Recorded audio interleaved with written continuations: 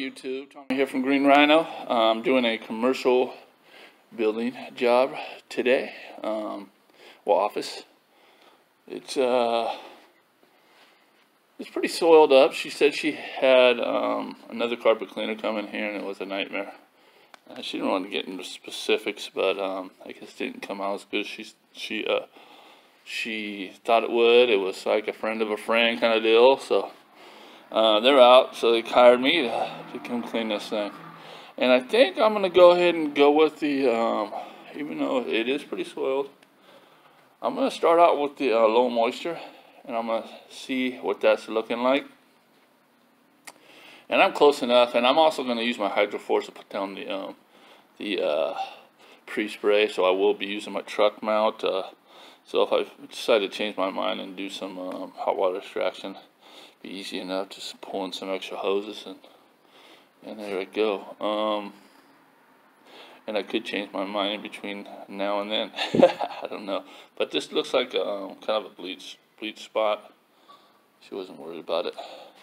And uh, yeah so definitely uh, gonna do some good agitation on it. And I have um, many tools for ag agitation I have, let me walk out to my van. I'm definitely going to do a good vacuum first too, as you can tell.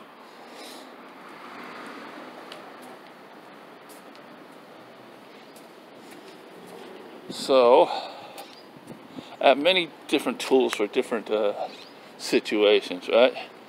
I have my um, Powr-Flite here. It's got the counter-rotating brushes on it. Um, great agitation for residential, kind of high, higher pile carpet. I don't love it so much though on the um, the uh, the uh, carp the commercial carpet. Um, I got my Oreck here with the green brush. Works great for um, commercial and residential, but it's so small, right? And I got my 175, which I'll be doing a little moisture. And I have my big black brush right here and it scrubs the best for uh, commercial grade carpet.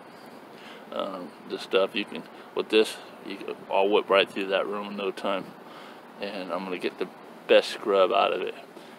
And uh, yeah, so I'm gonna go ahead and vacuum and get started. All right, so all vacuumed up. Really good vacuum. Um,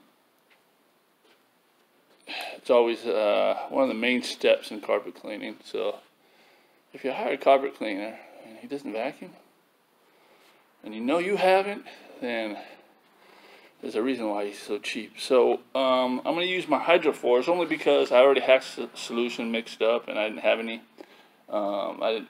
I wasn't sure whether I was into hot, hot water extraction or um, low moisture, so I just said, you know, if I get there, I want to go low moisture. I'm just gonna go ahead and use my Hydroforce. Otherwise, guys, if you're just getting into the uh, business and you're considering VLM cleaning, um, you just get a pump up sprayer. All right.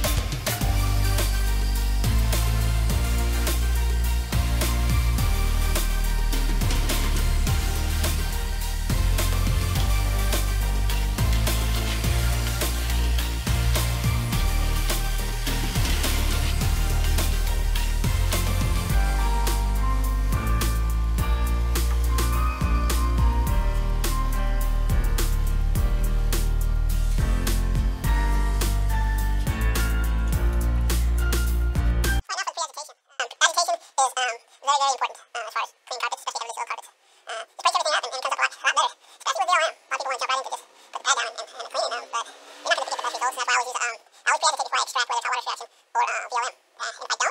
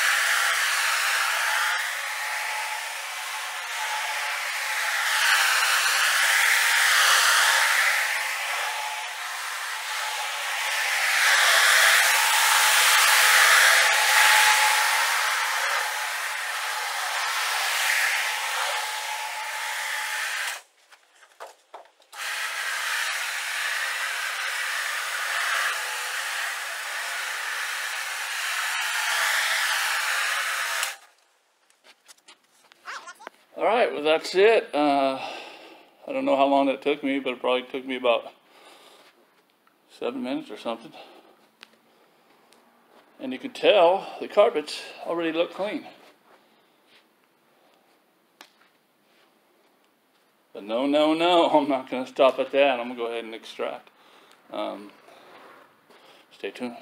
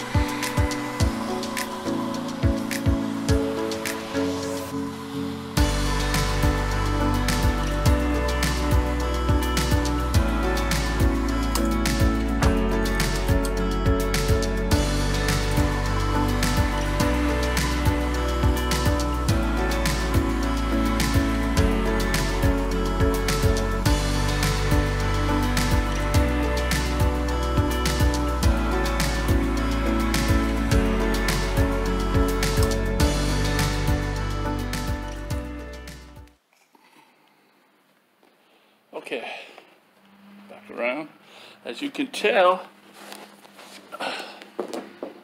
although it looked clean already, you can really tell the difference.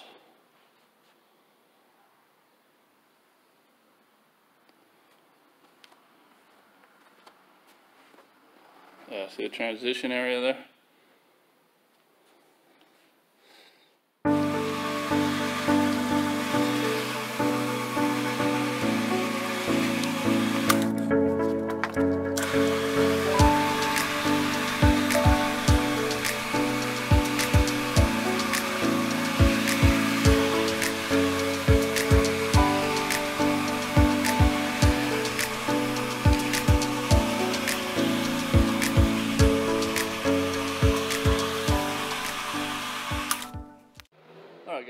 Flipped this one over, um, and I decided to stop right here and, and uh, just show you that the uh, pad is centered on the part. All right, we got a buffer. Okay, circular motion.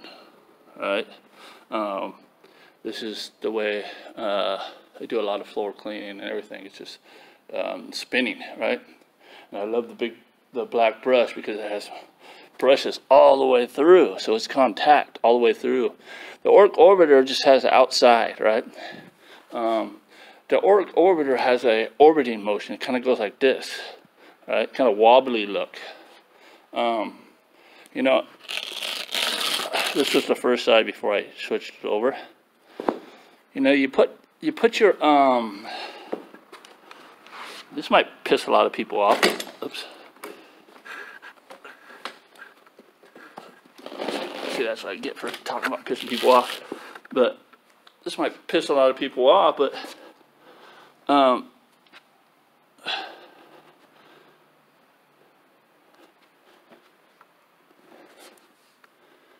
you see how I put that pad offset, making sure that I don't have any of these uh, pointy things uh, contacting the carpet. But see how it's offset? Guess what, guys? now we have an orbiter. Orbiter. Except this is a 17 inch orbiter. Can't do that with the scrubber. Okay because the scrubber you can't put on offset. But as you can tell, that that uh, rotation looks familiar. doesn't it? The uh, buffer's wobbling a little bit. That looks familiar. Uh, am I wrong? I don't know. But uh, I think I'm right. 17 inch orbiter right here. this is a uh, triple S um, low speed buffer 175 cost about 700 bucks great machine all right well I'm gonna wrap this up so what I'm gonna say today the MVP not MVP most valuable tool today I think was the uh, the big black brush. You know, uh, just does such a great agitation um, with speed. You know, it just got so many contacts on that. And we just ripped through this job without that, that agitation. I don't think it could have came out looking like that. All right, I'm going to walk my way out of here work my way out of here. It's the only area I got to do next. And yeah, job well done, I think. Let me know what you think. Give me a like, subscribe, and comment. Um, if you haven't subscribed, subscribe. And uh, if you like it, like it. If you don't like it, um, well, just move on to the next video, guy. All right. See you in the next one.